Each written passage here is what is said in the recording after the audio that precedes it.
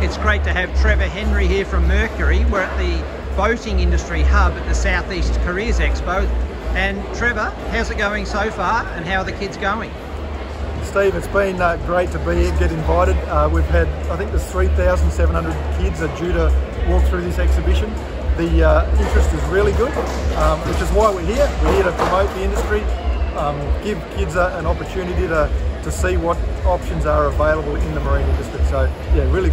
And those options, Trevor, do you think we're putting together a pretty attractive proposition for young people coming into you know their their, their, their career Absolutely. future? Absolutely. So we've got a, a, range of options here with you guys, the BIAB, um, fibre concepts.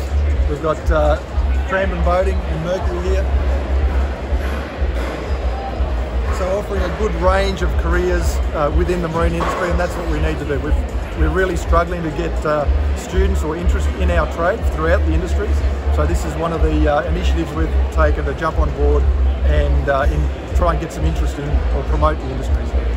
Uh, Trevor, the boating industry as a whole is very grateful of the you know the time and effort, and um, you know we really want to make the most of this day here at Cranbourne. So thanks and well done. Uh, absolutely, any any time and any opportunity we can take to, to get involved in these sorts of things,